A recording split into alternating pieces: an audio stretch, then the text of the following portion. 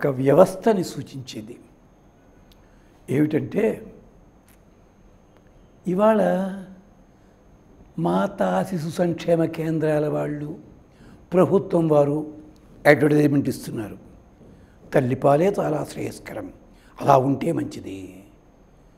ఇది ఇవాళ కాదు వేల సంవత్సరాల కిందట పెట్టారు అది ఎలాగో తెలుసా? భాగవతంలో వచ్చిన మాట ఉందమ్మా. కృష్ణుడి మీద రిపోర్ట్లు ఇవ్వడానికి వచ్చి ఓ అమ్మ నీ కుమారుడు మా ఇంట్లో పాలు పెరుగు మనడమ్మా అంటే పాలు పెరుగు తాను తినడం కాదమ్మా పెరుగు దాన్ని తినొచ్చును. పాలు కూడా దొరకని పట్టేదన్నాడు ఎందుకుట? బాలింతరాళ్ళుట పిల్లలకి పాలు లేవని బాధపడుతుంటే కృష్ణుడు వచ్చి ఆవుదోళ్ళని పాలు వదిలిపెడుతున్నట్ట పాపం. అక్కడ అర్థం ఏంటో తెలుసా అమ్మా? ఆ రోజుల్లో కూడా స్త్రీలు సౌందర్య లాలసులయ్యి చంటి పిల్లలకి పాలు తాగించినట్టయితే తమ సౌందర్యం నాశనం అవుతుందని చెప్పి పోతపాలు పెట్టడం ప్రారంభించారు ఆ రోజునే వాళ్ళు మహానుభావులు.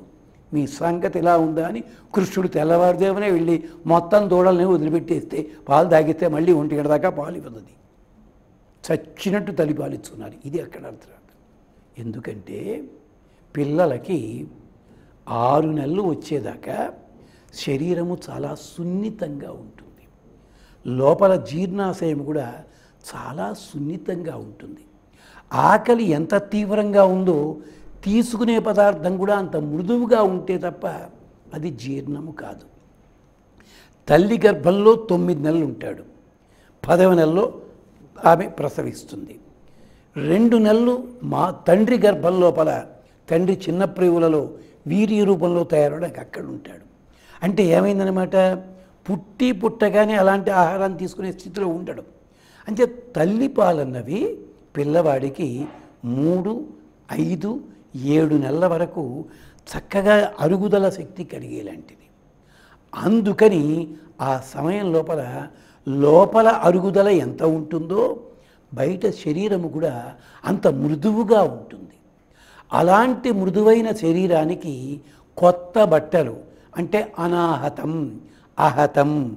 అంటే ఉతకబడని బట్టలు. కొత్త బట్టలు ఉతకం కదా మనం?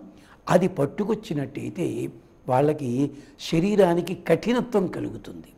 మృదుత్వం పోతుంది. ఎప్పుడైతే చర్మం మీద ఈ ఒత్తిడి ఏర్పడిందో లోపల జీర్ణాశయం కూడా ఇబ్బంది కలుగుతుంది. అందుకని అన్నప్రాసన జరిగేంత వరకు కూడా పిల్లలకి కొత్త బట్టలు తొడగకూడదు వాడిన బట్టలే వాడాలి. ఇంకో కారణం మన వాళ్ళు ఏం చెప్పారు? చంటి పిల్లలకి రోజు నూనె పూస్తుంటారు కదా ఇప్పుడు పీటలే వాళ్ళు అస్తమానం కొత్త బట్టలు అయితే ఎన్నాళ్ళు ఊతుతారు ఎవడి మట్టికి? పాత బట్టలు అయితే అవతల పారేయచ్చు. ఇది అర్థం చెప్పారు. దానికోసం కాదమ్మా. పాత బట్టలు అంటే ఒకసారి వాడుకుని వదిలిపెట్టి ఉతికినవి మెత్తదనం వస్తుంది దానికి. తద్వారా వాళ్ళకి క్షేమం. దీనికి పురాణగాథ ఏమిటంటే చంద్రుడు పుట్టాడు అనసూయాదేవికి. అక్కడ పడుకోబెట్టాలి పిల్లాడిని తన దగ్గర నారచీర ఉంది. నారబట్టలే ఉన్నాయి. పిల్లాడిని పడుకోబెడితే ఒళ్ళు మీద ర్యాషెస్ వస్తాయి. అందుకని ఏం చేయాలో తెలియక వరుణదేవుణ్ణి ప్రార్థించింది. వరుణదేవుడు దారపు కండె పడేశాట దారముల గుట్ట పడేశాడు. దాని మీద పడుకోబెట్టింది. పాత బట్టలంటే అర్థమేమిటి? ఒకసారి వాడేశాం. దారముల కండెది దారపు గుట్ట అనమాట అందుకని ఈ కారణం చేత చంద్రుడి కోనుగులు పోగిన సామెత కూడా వచ్చింది. అలాంటి ఆ మృదుత్వం ఉంటుంది దానిక అందుకని పాత బట్టలే వాడాలి. ఇది నియమము. పూర్వకాలంలో అంటే మాటువంటి పూర్వకాలంలో అర్థం అది కాదమ్మా. పై జనరేషన్లో ఎవరింట్లో అమ్మాయి పూడు వసుకుంటుంది అది కానీ ఆ వీధిలో వాళ్ళందరూ కూడా దగ్గర వాళ్ళు దూరం వాళ్ళు కూడా పాత బట్టలన్నీ దిగి చిన్న చిన్న గౌన్లు షర్ట్లు కండువాలు ఇవన్నీ ఉతికి శుభ్రంగా మడతపెట్టి ఆ అమ్మాయి ప్రసవించింది.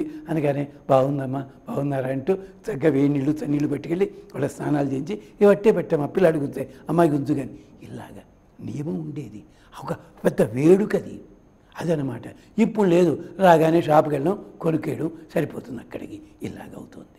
అది అందుకని మన వాళ్ళు ఆరోగ్యరీత్యా చెప్పారు తాత్విక రీత్యా చెప్పారు పౌరాణికంగా కూడా దీనికి ఆధారం ఉంది.